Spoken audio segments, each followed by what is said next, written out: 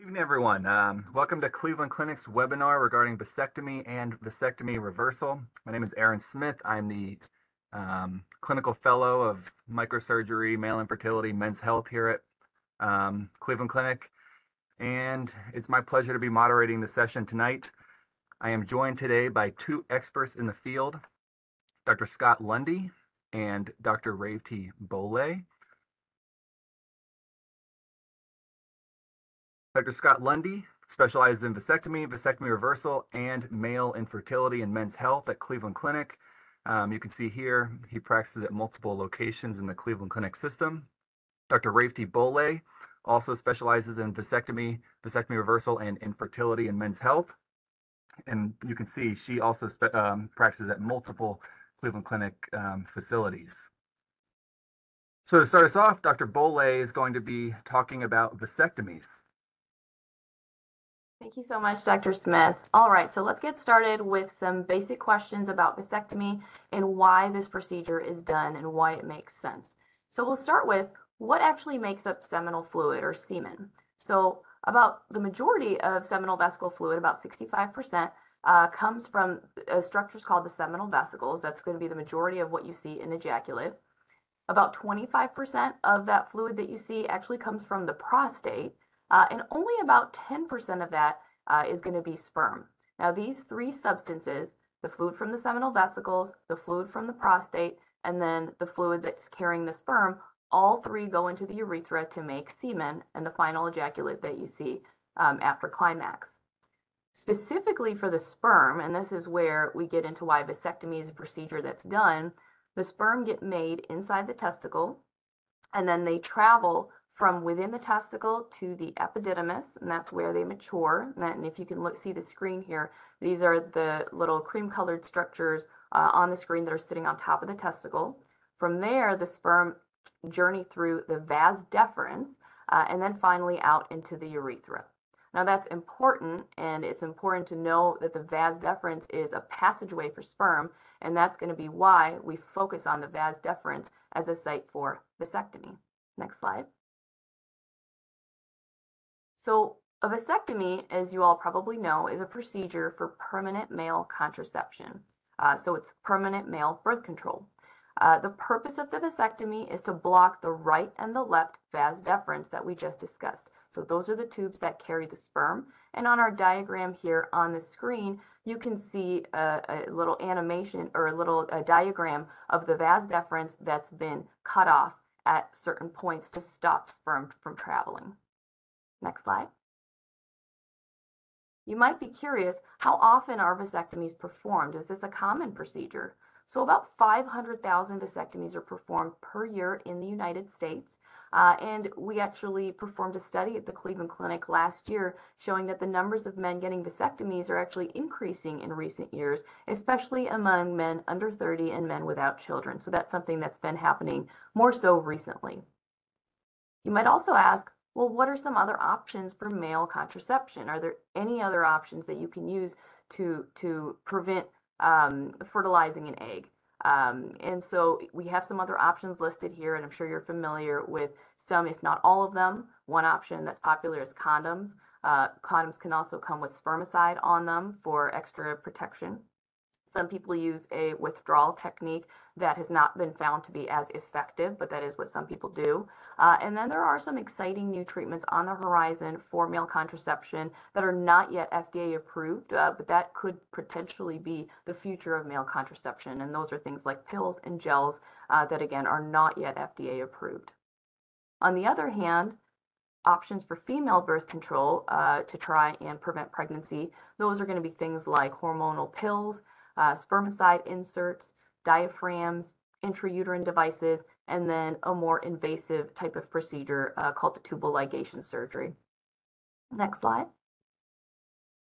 So these next few sets of pictures are going to go through just briefly the steps of a vasectomy procedure. This first image is showing the surgeon feeling for the vas deferens and isolating it where it's easy to see at the skin level and you can see this bulge here where that's being shown. Next picture. This picture is demonstrating uh, local anesthetic numbing medication that's always uh, placed for the patient to be comfortable. Now, we'll talk about this in an, a next slide, but um, essentially you can have this procedure done while you're awake, in which case, once this local goes in, you're not really feeling much of anything that's sharp or pokey. So this is for your comfort. And some people also elect to have the vasectomy done with sedation. So they're going to be um, not aware of any of this happening. Next picture. This next step of the procedure is making a very small opening uh, in the skin to be able to access the vas deferens tube. Uh, here at the Cleveland Clinic, we use the typically use the no scalpel technique. So we're using an instrument that's not a scalpel to make a very small opening. And we'll talk about that further on next slides. Next picture, please. In this picture, we're showing that the vas deferens is being isolated and brought up to the skin through that very small opening uh, so that the surgeon can then work on it. Next picture. This is a close-up view of the tissue sheath that surrounds the vas deferens. Again, using very small instruments, this tissue sheath is isolated and pulled off of the vas deferens so that you can see the vas deferens uh, nice and clean and, and uh, ready for the next steps of the procedure. Next picture. In this picture, we're seeing uh, the surgeon go ahead and cut out a portion of the vas deferens after clamping it on both sides. This is going to be one of the techniques, one of multiple that we use to ensure that sperm cannot pass through this tube after the procedure is done. Next picture. This one is showing how the surgeon will use a method either using suture here or clips to tie off and clamp that vas deferens so that nothing can pass through. Next picture. And then finally, closing up that small opening that was made on the skin. Uh, typically, we use very small dissolvable stitches just to make sure that the skin is nice and dry uh, and that you're able to go home in comfort uh, with minimal oozing or bruising afterwards. Next slide, please. So just like the pictures we, we saw, uh, there are multiple different ways that your surgeon will go ahead and block the vas deferens tube from passing any more sperm after your procedure. Uh, one method is to remove a small part of the vas deferens, and that's what you can see in this first picture here, where a small part of the vas deferens has been removed. Uh, it's also very effective to use cautery, so that's heat, uh, to go ahead and close up the opening of the vas deferens tube so that no sperm can pass through. Often we use either clips or suture then to tie off, physically close uh, the opening of the vas deferens tube as well. And then in this final picture uh, on the right, uh, we're showing a picture of actually placing a little bit of tissue in between the two ends of the vas deferens. That's called fascial interposition. And along with the other techniques, uh, multiple of which are used during your procedure, this is a very, very effective way of blocking that vas deferens tube to make sure that no sperm can pass through afterwards. Next slide.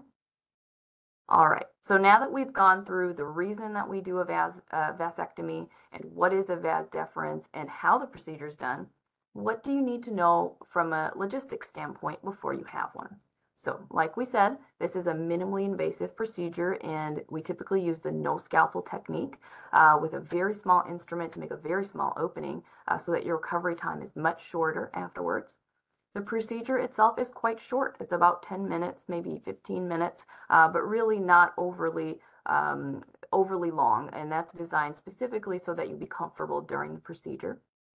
There are multiple different locations that you can have this done. Very commonly, patients will have this done in the office with the numbing medication that we showed in the picture before, and sometimes also relaxing medication that you can take as a pill uh, before your procedure, just if you're feeling a little anxious about having this done. Uh, alternatively, you can also have the procedure done with sedation in an outpatient surgery center. And that would be if you want to not be awake during the procedure, um, that's a good option uh, as well. And typically after a vasectomy, you can actually drive yourself home. Uh, patients are typically feeling just fine to do that. Uh, and the only caveat would be if you just had sedation or you took one of the pill forms of relaxing medication, that's the only situation in which we would ask you to bring yourself a driver to drive you home instead. Now, on to what we can expect after vasectomy. So there are some things that are normal, and we'll go over those things on this slide. And then there are some things that we wouldn't expect that we would certainly want to know about, and we'll go over those on the next slide. So normally, uh, we would expect a little bit of bruising, a little bit of swelling, uh, maybe some mild soreness at the, at the area that you had the procedure done. And it's also common to feel a small lump at the vasectomy side. If you were to feel inside the scrotum afterwards, you might feel a small lump in there, and we can go over that in a little bit as to why that is. Um, so those are typical things that we would counsel you to expect after a vasectomy. After the procedure, though, we definitely want you to rest and relax at home. Typically, most of our patients are taking extra strength Tylenol and Advil, uh, and typically not needing anything stronger than that to remain comfortable at home. So that gives you an idea of the typical comfort that most people have after a procedure like this. Uh, we always recommend using an ice pack on the scrotum for extra comfort as well. And we just tell you not to place this directly on the skin uh, to avoid damaging the skin. But over clothes, this is a very effective method for numbing and helping with that initial mild soreness. Wearing supportive underwear is also a good idea. Uh, so anything with just a little bit of lift and support for the scrotum to help keep that swelling down. Uh, typically just not boxers, but boxer briefs or athletic underwear are very appropriate. In terms of activities that you can do after a vasectomy, uh, we typically caution you to avoid lifting anything heavier than 10 pounds for about one week uh, or from doing any sort of heavy exercise for about one week. And that's going to give you the best chance at not having any annoying swelling or bruising after this procedure. And then in terms of sexual activity, we also recommend avoiding ejaculation for one week after the procedure. And this is going to help reduce the incidence of that little lump that you can sometimes feel uh, deep in the scrotum if you were to feel it at the vasectomy site. Next slide. All right, so this slide is about the rare uh, uh, possibility that you have a complication after vasectomy. This is typically a very uh, minimally invasive procedure, and most people do exceedingly well. Uh, but certainly, there are things that we want you to watch for when you get home so that you can let us know if you're experiencing any of these unusual things. Uh, so, a little bit of bruising and swelling is normal, but if you're having swelling that's beyond the size of a baseball, that's pretty rare. That's only about 2% of patients, but we would want to know about that certainly. Uh, it's possible to have a small risk of skin infection. Uh, we typically don't send you home with antibiotics because 98% of men don't have the, any kind of infection happen to them. But certainly, if you're noticing redness or swelling or you feel like you're having drainage from the site, we want you to let us know so that we can see if you need some antibiotics for that. The next thing I want to talk about is pain. It's certainly common to have a little bit of mild bruising, swelling, and discomfort right after the vasectomy, but we certainly expect that to go away after you have the procedure. And so, uh, long lasting pain after a vasectomy is not common. That would be about 1% of men. Uh, and this is a condition you may have heard of called post vasectomy pain syndrome. Not common at all, not in 99% of men. But again, if that's happening to you, we want to know about it so that we can talk about options for what to do next. The next uh, set of things that would be unexpected would be failure. So, what if the procedure doesn't work? So, early failure would be when we recognize that the procedure hasn't worked early on when we do your first post vasectomy semen check. And we'll talk about that and when that usually happens. Uh, but there's about a 1% rate that at that check, we realized no, there's still sperm uh, in, in this uh, semen analysis. And that's why it's so important to do a check just so that we know if that has happened. So it's very uncommon, especially because we do so many different techniques to keep those two ends of the vas deferens away from each other. Uh, but that's so that's a pretty uncommon thing to happen. But that's something that we also want to recognize early on if it does happen. And then the second possibility is even if the procedure was successful at first, there is a phenomenon known as late failure. That's really rare. That's something like 1 in 2,500 patients. Uh, and we think that that happens due to a phenomenon known as recanalization, where even though there were multiple techniques done to keep the two ends of your vas deferens apart, it's possible for your body to try and heal those two ends back together. So you can imagine that's pretty uncommon.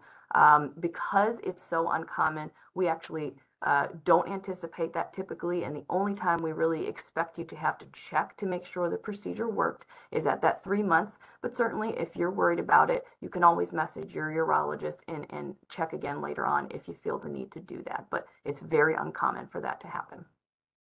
Now, I do want to take a pause here and mention some conditions that we know, based on scientific data that we've collected over many, many patients, we know these things do not happen because of a vasectomy. So we know that prostate cancer is not caused by vasectomies. Uh, you are not at a higher risk of a heart attack or stroke because you had a vasectomy. Vasectomies do not cause dementia.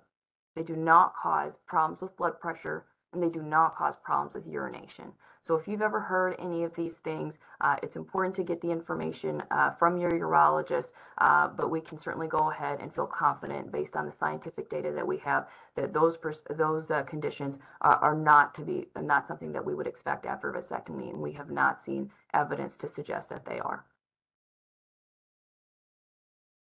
So this slide we wanted to go over because many men are wondering, well, what will sex be like after vasectomy? Um, you're, you're doing a procedure on your uh, organs in that general region. You know, what can I expect after having a vasectomy? So let's go over these important points to know. So first of all, you will still see a normal amount of semen when you ejaculate. And thinking back to one of our first slides, that's because the sperm portion of the semen is going to be less than 10%. So the majority of what you see in the ejaculate is still going to come out. Uh, and that is something that is pretty reassuring to most people uh, once they realize that that part of the sexual experience is not something that we expect to change after a vasectomy. Second thing that I want to highlight, you'll still have normal erections afterwards. So Again, that procedure that you saw in pictures that I went over is very specific on the vas deferens portion of the anatomy, and it doesn't affect the processes or the organs that control erection. So we expect you to still have normal sexual function. Your sex drive after a vasectomy and arousal should also be unchanged. Uh, and you should still be able to experience a very normal orgasm. Uh, and then finally, your testicles are still expected to make a normal amount of testosterone. Again, because of how specific and how minimally invasive this procedure is, we don't expect there to be a bad effect on your testicles, and they should still be able to make an appropriate amount of hormones, just like they were making before. Interestingly, your testicles will still also make sperm. It's just that it won't travel out, uh, and your body will be able to get rid of those sperm uh, and not let them pass the vas deferens where the procedure was done. So, after all this, you might ask, well, are there any risks to sex after a vasectomy? Is there anything that I have to think about after having this procedure done? So, there's just two things that we want you to remember. The first thing is that vasectomy doesn't work immediately. It takes about three months to clear the last remaining sperm from your system because there are still going to be some stragglers in there, and we want to make sure that they're out uh, even past the point that the vas deferens was treated. So we want you to use some other form of birth control until you get your post-vasectomy confirmation test, and that's typically at about three months. After your confirmation test comes back all clear, then you're not necessarily required to check a semen test again because of how rare it would be for the procedure um, to fail at a later date. Uh, but you certainly can if, if, if you feel worried about it, but you're certainly not required to after that initial test. The second thing that we want you to remember after vasectomy is that you can still get sexually transmitted infections. Vasectomies are only to prevent unwanted pregnancy. So if you're potentially at risk for getting sexually transmitted infections, uh, only a condom would prevent this. So that's important to know as well. A little more detail here about the post-vasectomy semen test. Here at our practice, uh, we have you call the andrology lab for an appointment three months after your procedure. Uh, so typically that will mean that you provide a specimen at home and then bring it to our lab within one hour, or you can alternatively just come in and provide the specimen on site.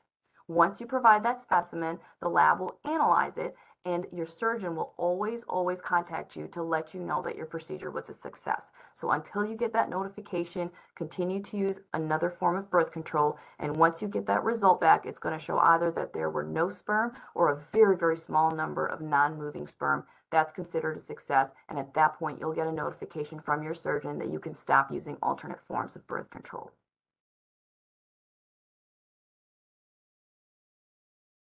All right. Thanks, Dr. Bolin. That was very informative. Um, just want to remind everybody that, you know, as our physicians are talking, feel free to, if you think of any questions, type them up in the chat and we'll answer all these questions at the end. Um, next, we're going to talk about what happens if you want to have your vasectomy reversed. And that's going to be a talk by Dr. Lundy. Good evening, everybody. Thanks for that uh, outstanding talk, Dr. Bole, and thanks for that kind introduction, Dr. Smith. Um, today I'll be talking about what happens if you change your mind after a vasectomy. Now, of course, we always tell patients that this is designed to be a permanent solution, and it is, but we also recognize that sometimes life changes and circumstances change. And for those men, a vasectomy reversal or other fertility restoration may be the right choice. We know that about 6% of patients who undergo a vasectomy each year will ultimately explore options for fertility restoration or reversal. And that typically occurs because they either have a new partner or their existing partner and the patient desire more children, or in rare cases, the pain that develops after a vasectomy that never goes away can also be treated using uh, vasectomy reversal or other techniques. Next slide. So there are a number of options after a vasectomy that will allow you to accomplish your goals of either restoring fertility or treating pain. In the case of fertility, uh, the main options are listed here, and the two that we spend the most amount of time with during a visit to discuss this issue are a vasectomy reversal and a sperm retrieval and assisted reproduction. So the first is a vasectomy reversal. This is a procedure that we'll talk about momentarily, but essentially we reverse the blockage that we've occurred by unblocking the vas deferens in a number of different ways. The benefits of this approach are that patients can then conceive naturally and conceive multiple times uh, the old fashioned way without having in many cases to use assisted reproduction.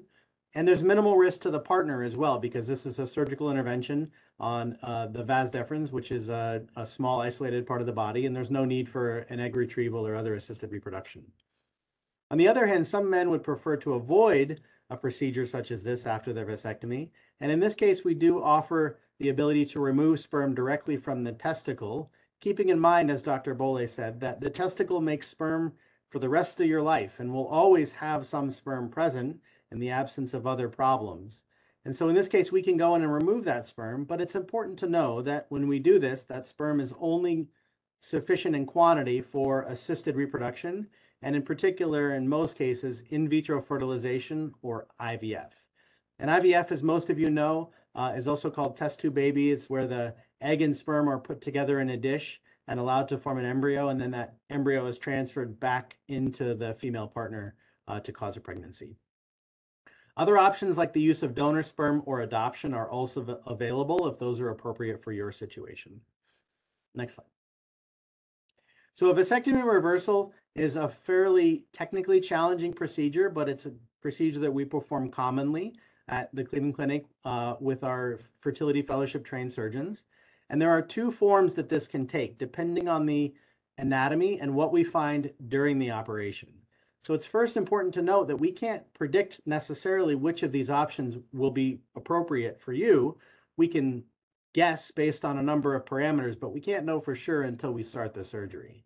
So essentially, we make a small window into the scrotum, and in many cases, we can do this surgery through the incision the same size as the original vasectomy and we isolate the vas deferens and find both sides above and below the blockage that had been previously formed. And we then ensure that those tubes are open above and below. And then we use very small sutures that are far smaller than a human hair and an operating microscope to put these sutures around the vas deferens. And for scale purposes, this vas deferens is um, smaller than the wire that connects your mouse to your computer. So it's quite small, and that's why we have to use an operating microscope to do this. These are very successful, and they're most commonly used if your vasectomy was within 10 years or sometimes even longer, but under 10 years, this is by far the most common option. In some cases, however, the vas deferens has the blockage that was placed there during your vasectomy, but a second blockage has formed in the ensuing years because of the pressure that's been put on the other structures. This typically happens at the beginning part of the vas deferens or in the epididymis. And when this occurs, we have to go back to our anatomy drawing earlier to see that the testicle is connected to the epididymis before it goes into the vas deferens. And we then have to connect this vas deferens directly to the epididymis in a procedure we call a vasoepididymostomy, or for short, a VE. This is more difficult and does take more time, Uh, and the sutures for this are even smaller than the ones we use for a vasovasostomy or a VV. We make this decision in the operating room, and if it's necessary, at our institution, we'll perform whatever surgery is appropriate for you. It is important to note that if we have to use this option, however, the success rates are slightly lower. Next slide. So what are the success rates? And uh, what you can see here are the success rates for patency in yellow, patency meaning the return of sperm in the ejaculate. And on the x-axis, you can see that this is related in time to how long the vas deferens has been obstructed. So if, if a man has a vasectomy and then a year later would like a reversal, the success rates for this are 95 to 98%. They're very good.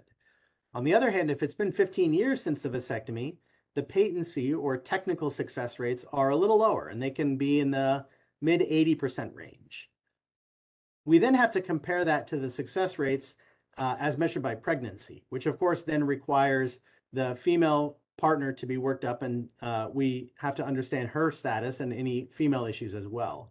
So this is always lower than the patency rate. But in this case, you can see that for an early vasectomy that's less than five years, the pregnancy rate is still very good. It's two out of every three patients. And then it falls slightly down to about the 50% range if uh, the obstructive period has been longer than 15 years. And this is also partially due to the fact that as couples try to conceive after having had a vasectomy 15 years later, the female partner is often a little bit older, and sometimes that can decrease fertility on the female side as well.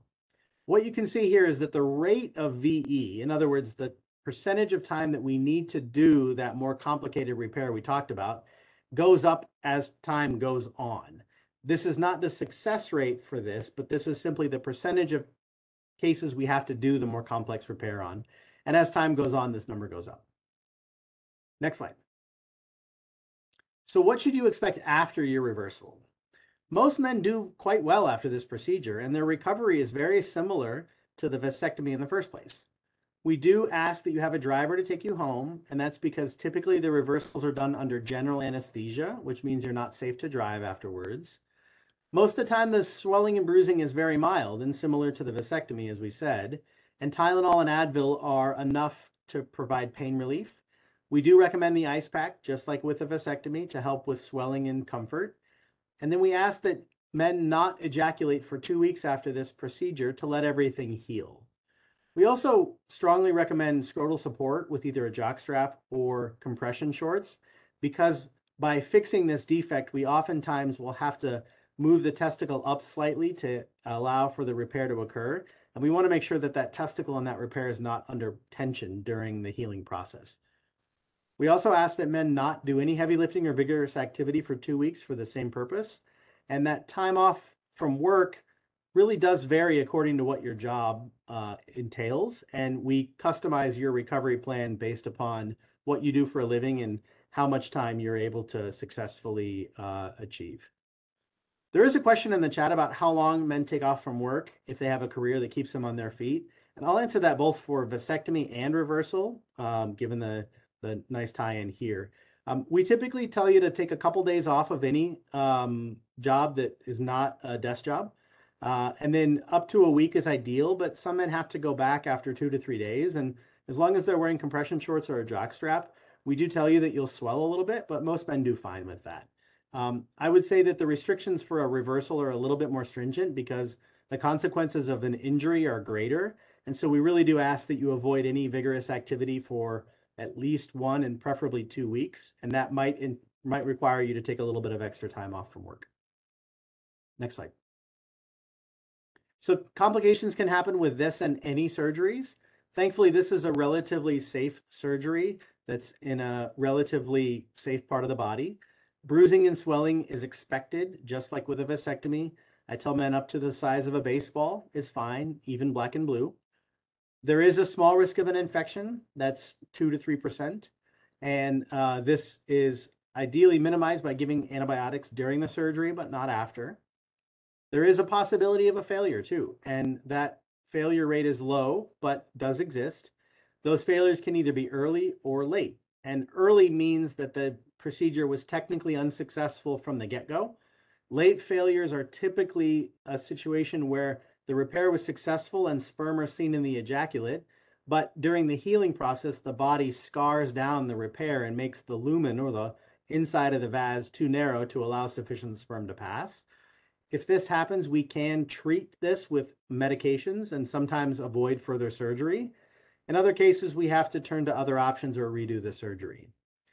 Some couples opt for cryopreservation of their sperm during the initial reversal.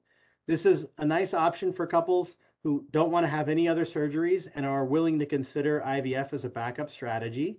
And when we do this, we simply take the fluid that comes out of the vas deferens and freeze it. And that frozen sperm can last for decades in the freezer for future use with IVF if necessary. And there is a small cost to this with an annual fee, but it's much less than the cost of the reversal itself. Next slide.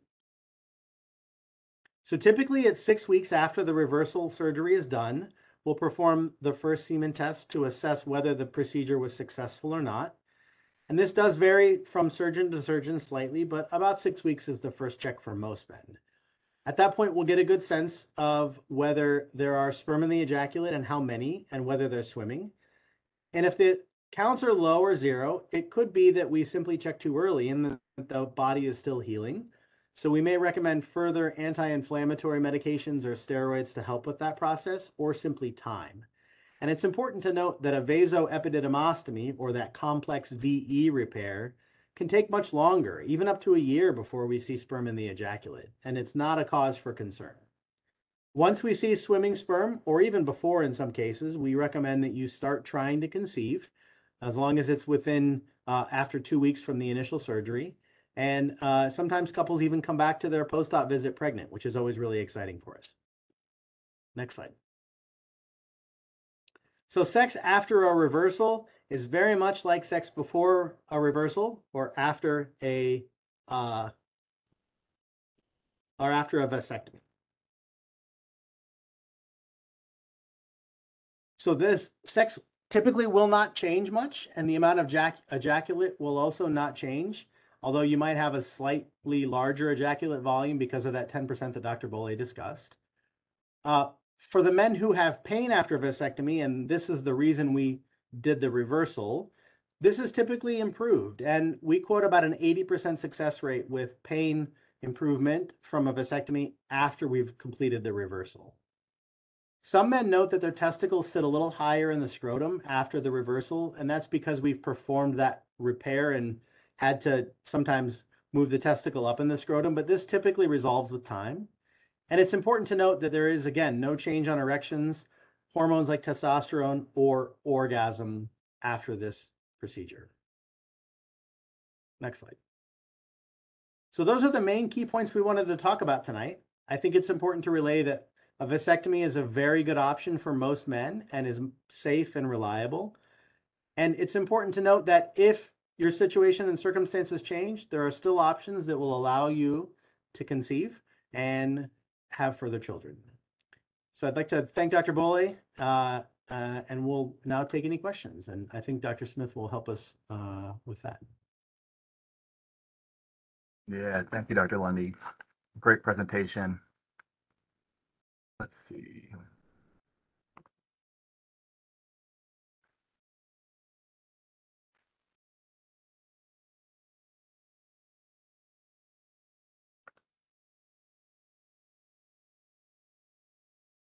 Okay.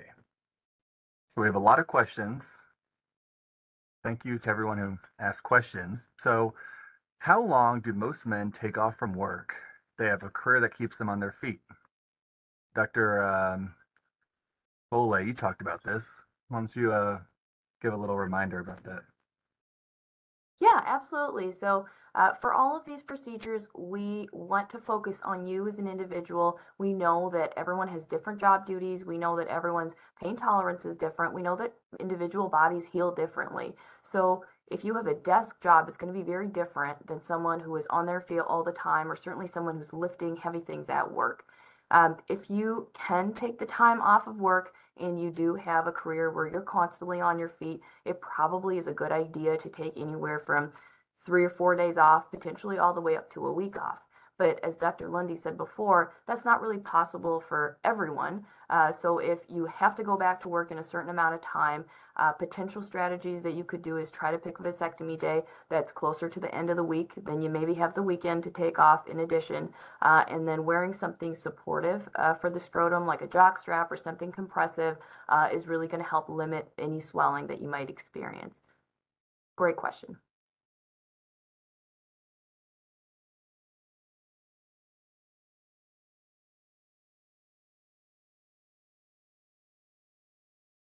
I think you're muted, Dr. Smith.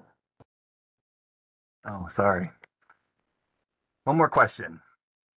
Um, is there ever any nerve damage um, that one should be worried about when performing a vasectomy, uh, Dr. Lundy? Typically, no. The nerves that run in this part of the body are microscopically small, so we can't see them even if we wanted to. There are nerves that run around and in the wall of the vas deferens, and that we can encounter and can uh, uh, will be forced to divide or control during the vasectomy procedure. We think that this may be related to the source of pain, and so there are advancements in how the procedure is done to try and avoid this pain. On the other hand, much of the pain that we see, we think is related simply to the blockage of the vas deferens itself and that backup that the testicle feels because the sperm has nowhere to go, which is not exactly nerve related, but more congestion, if you will. And so we don't worry so much about nerve damage, we worry about pain. And if a man comes back with pain, luckily we have a number of good treatment options that we can discuss, and those range from giving it time, and many men will resolve their pain with time, to medications or even procedures and surgeries with a high chance of success. And those are in addition to the reversal. There are other options as well. Um, but as far as you know, large nerve fibers that we see or nerves with a name on them in an anatomy book, that's not uh, what we see in this part of the body. Great, thank you. So, another question. Often in advertisements online, Instagram, what have you, you have you see a lot of people advertising they do vasectomy reversals, come to them for vasectomy reversal. What should patients be looking for when they choose who they want to see or, you know, who's a good person to do this procedure? Dr. Bole, you want to take this one?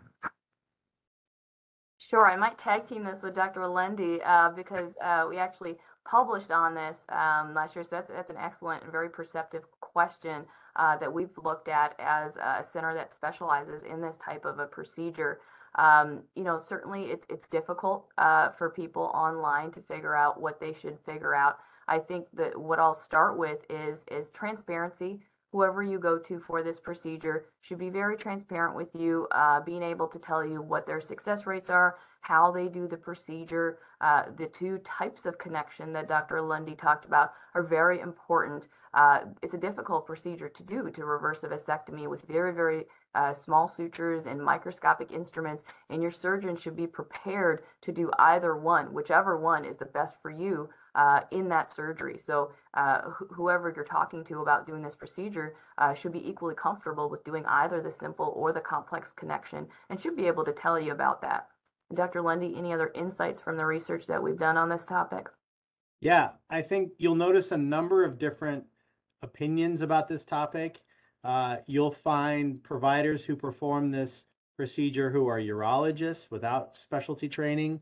You'll find fellowship or specialty trained microsurgeons who do it.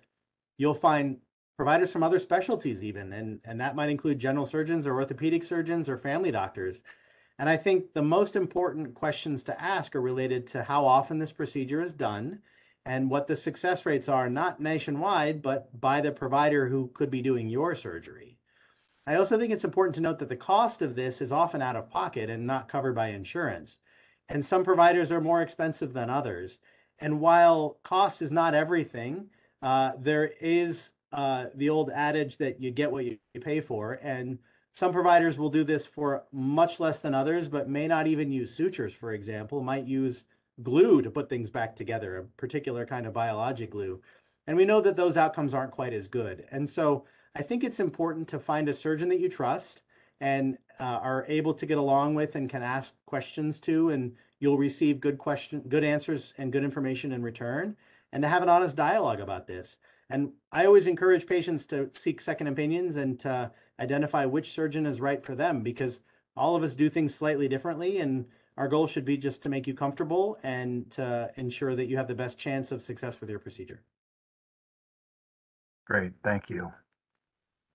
What should what should a, a patient do on the day of their vasectomy before having the vasectomy done? Anything in particular they need to be doing or anything they need, need to be worried about? Dr. Lundy? I think the first thing to know is that most men find this procedure to be far less dramatic than they were expecting.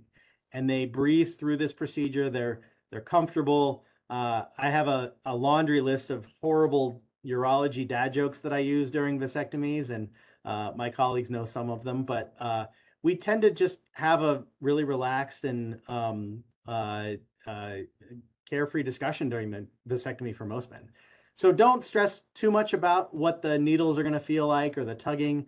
We'll get you through this. That's our job is to make you comfortable. Um, I do tell people that if they want to take an ibuprofen before the procedure, I'm okay with that. Some providers would prefer to wait till afterwards, but I'd rather you be comfortable. Uh, some patients require Valium or nitrous or laughing gas or other things to help. Those do help, but they don't take away the sensation entirely. And so most men ultimately will choose either a procedure under local anesthesia or in the operating room. But we do what's right for you, and we discuss that uh, hopefully before the day of. But we can still change our plans on the day of if if needed. I think it's important to uh, have the area clean and tidy, and potentially even shaved if possible. That tends to make things a little bit easier. Um, I would not recommend having the area waxed on the day of, which occasionally happens. Uh, that tends to be uncomfortable for people but um, go into this procedure with uh, with an open mind, and um, and I think most men do fine. Great. Um, another question. So a lot of guys, a lot of patients get these this lump above their testicle. What what is that? Dr. Bole? Yeah, that's a great question, uh, and and a pretty common question. If you're just feeling down there afterwards and you feel something that feels like a little lump that wasn't there before, you know, what could that be? Uh, so certainly it's possible that it's a little bit of scar tissue as your body's healing, uh, or or a little bit of inflammation if you're feeling down there right after the surgery. Um, you might be feeling some of that. And if that's what it is, we expect that to get a little softer and less noticeable with time. You may always notice a little bit of a lump um, in the area if you're really feeling uh, for it, but uh, in many situations it gets less um, less easy to feel with time. Uh, in some situations, it's what call it's what's called a sperm granuloma, and that's essentially, uh, if you think about it, it, it is almost a little piece of a little bit of sperm that leaks out of one of the ends, and then your body sort of walls it off uh, and puts a little bit extra tissue surrounding that that uh, small amount of sperm that leaked out. Um, and that's not doesn't cause you to have pain and doesn't make you sick, uh, but it can certainly feel like a lump if you feel down there. So that's a possibility as well. Uh, and that's one of the reasons that we recommend not ejaculating for a week after you have the vasectomy procedure is to avoid some of that fluid leaking out and try and hopefully reduce the risk that you have uh, sort of that lump that you feel uh, sometimes down there if it's from a sperm granuloma. But again, it's not bad for your health. Uh, it just may be something you notice that's different after a procedure. Great. Well, thank you both so much. Um, that's it for our questions. Um, so once again, thank you, Dr. Lundy. Thank you, Dr. Bole. Fantastic talks, very informative. Um, thank you to our team that set up this webinar. Um, thank you to everyone who joined us tonight to listen, and for those um, who are going to listen to this re recorded webinar in the future. Um, and if you have any more questions, if you want to talk some more to either of, you know, Dr. Lundy, Dr. Bole, anybody from our team, feel free, you know, to come into the office, make an appointment, and we're happy to talk and guide you through this process. Thanks, everybody. everyone. Thank you. Have a good night.